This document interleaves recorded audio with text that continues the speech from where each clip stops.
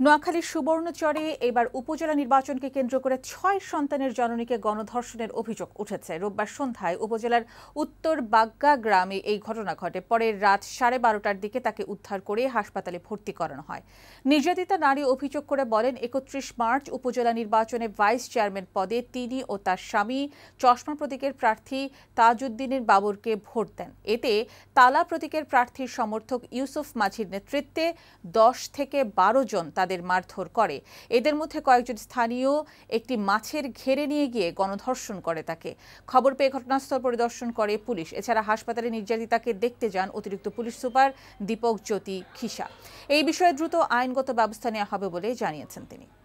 টিমের যে হাজব্যান্ড, উনি এজাহার দায়ের করবেন, অভিযোগ দায়ের করবেন। অভিযোগ দায়ের করার পরে আমরা ন্যূনতম সময়ের মধ্যে যারা অভিযুক্ত, তাদের বিরুদ্ধে আইনানুগ ব্যবস্থা নেব।